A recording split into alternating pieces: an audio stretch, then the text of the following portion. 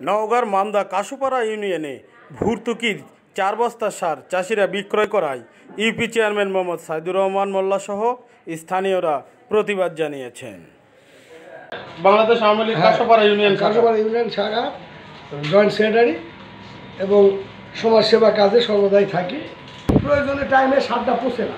তখন তারা বিক্রি দেওয়ার ওখান থেকে সিদ্ধান্ত নেয় এবং বিএসএফ এর ওখানেও বিক্রি দেয়। উপস্থিতি। উপস্থিতিতেই বিক্রি দেয়। ওখানে কিনার পার্টিও বাড়ায়। সেই সারটা গ্রামের দুজন লোক বা তিনজন লোক কে বা কারা কিনে আনছে। কিনে আনা তাদের আন্ডারে রাখছে। তারা আজকে লাভ করার জন্য অন্য জায়গায় সারটা বেচতে নিয়ে যাচ্ছে। সেখানে জনগণ ভ্যানালার সাথে কথা কেন এটা কী সার? এরকম কথার থেকে একটা ফৌজদারি একটা বিশৃঙ্খলা রাস্তার মধ্যে সৃষ্টি হয়। সেটার জন্য ওই দুইজনই কৈফত দিবে। এখানে মেম্বার চেয়ারম্যানের কোনো বিষয় নাই। তারা ওই কাঠ বরাদ্দ করেছে সার ভাগ করে দিয়ে দেওয়া আছে ডিস্ট্রিবিউও হয়ে গেছে। মানে এই বিষয়টা আপনি কি জানেন? এটা মূলত একটা বিরোধী চক্রান্ত বা ষড়যন্ত্র। আজকে পাট কিন্তু পাটের চাষ শেষ হয়ে গেছে।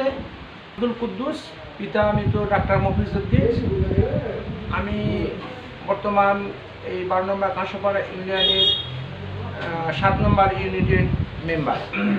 আচ্ছা আপনার ছয় নম্বর ইউনিটে যতদূর সম্ভব ছয় নম্বর ইউনিটের মধ্যেও গত কিছুদিনের আগে আর কি চার চার বস্তা সার পাওয়া গেছে। যে বিষয়টি নিয়ে থানায় নিয়ে গেছে এবং এই বিষয়ে মামলা হয়েছে তিনজনকে আসামি করে। যার মধ্যে চেয়ারম্যান মোহাম্মদ সাইদুর রহমান মোল্লা সেও জড়িত আছে বলে মামলাটা তার নামেও হয়েছে। এই বিষয়ে আপনি কি জানেন একটু বলেন তো। আমি ঘটনাটি শুনছি আমি সচক্ষে দেখিনি। তবে শুনলাম যে চার বস্তা সার দুই বস্তা পটাশ আর দুই বস্তা ইউরিয়া। এই সার নাকি সাধারণ জনগণ কিছু লোক ধরছে। ধরা এটা ইউনিয়ন পরিষদের চেয়ারম্যানের উপর বর্তাছে।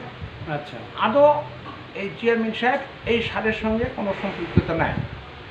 এই সারটা বিতরণ কীভাবে হয়েছে? আপনি যেহেতু ইউপি সদস্য বিষয়টা। আপনার জানা থাকতে পারে বলেন দেখি। এই সারটি বিতরণ হচ্ছে এই তালিকাভুক্ত যে সব কৃষক এই কৃষকের মাঝে বিতরণ করা হয়ে গেছে। মানে যাদের ভর্তুকির কার্ড আছে? হ্যাঁ। হ্যাঁ, হ্যাঁ, আচ্ছা। তাদের মধ্যে বিতরণ করা হয়ে গেছে। হ্যাঁ। এখন বিতরণ করার পরে কৃষকেরা সাধারণ কৃষকেরা কার কাছে কীভাবে সারগুনা বিক্রি করল এটা চেয়ারম্যান মেম্বাররা জানে না। এই বিতরণটা হচ্ছে দশ জনে বিশ জনে মিলে। এক একজনে পাঁচ কেজি ইউরিয়া সার পাঁচ কেজি পটাশ। এই মিলে দশ জনে বা বিশ জনে একটা প্যাকেজ করে এই সারগুনা বিতরণ করা হয়েছে যত টাইমে বা যত রীতিতে।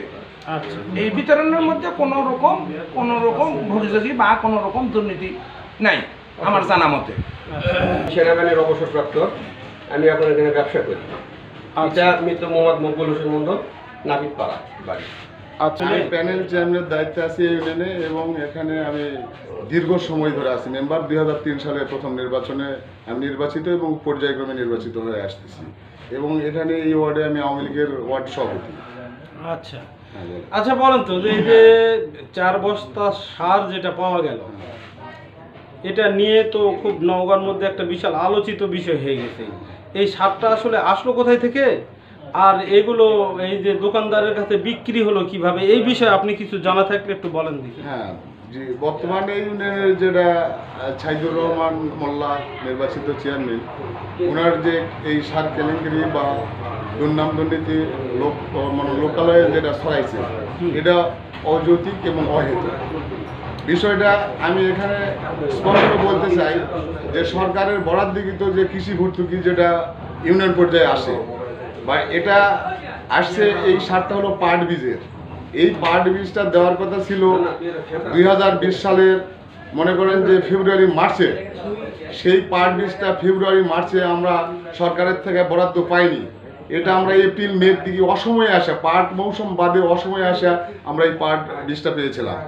এবং যথারীতি আমরা চেয়ারম্যান মেম্বার সহ মিটিংয়ের মাধ্যমে কৃষকের মাঝে তাদের যাদের কৃষি ভর্তি কার্ড আছে এবং তাদের দেখা তাদের নিজ নামেও আইডি কার্ড নেওয়া হয়েছে।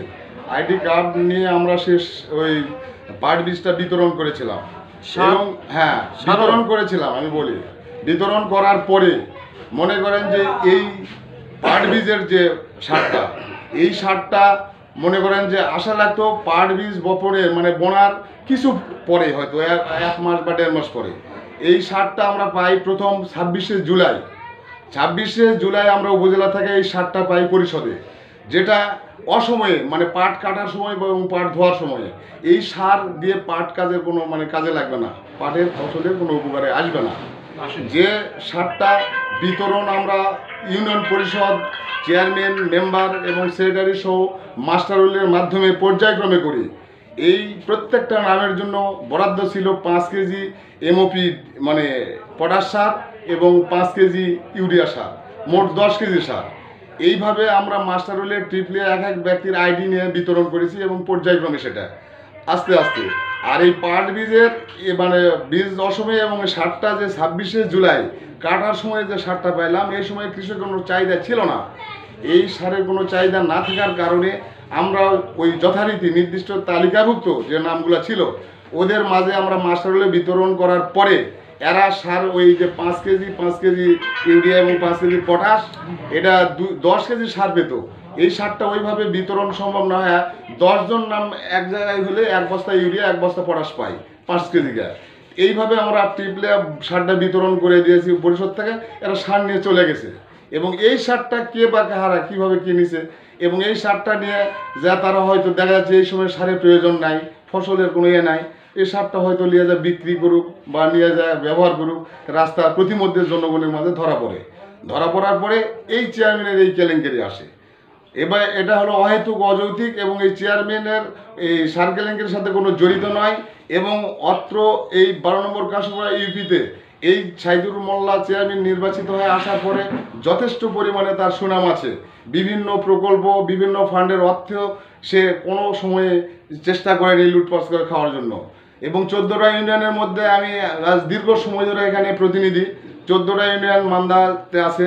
এই চোদ্দোটা ইউনিয়নের মধ্যে মোহাম্মদ সাইদুর ইসলাম সাইদুর রহমান মোল্লা সাহেবের একটু বাইরে ইউনিয়নেও সুনাম আছে। তার কাজের মান ভালো সব কাজ তার উন্নত মান মানে সবগুলাই ভালোভাবে করে।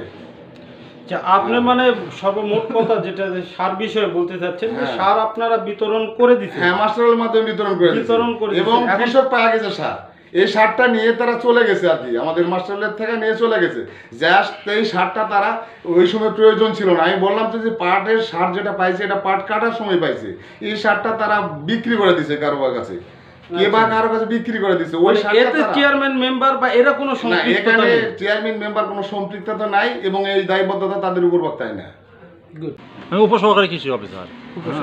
এটা আমাদের ডিপার্টমেন্টে যেটা হয়তো আমরা পাঁচ জনে বা দশ জনের গ্রুপ করে আমরা সারটা তাদের বুঝ করে দিয়ে দিই।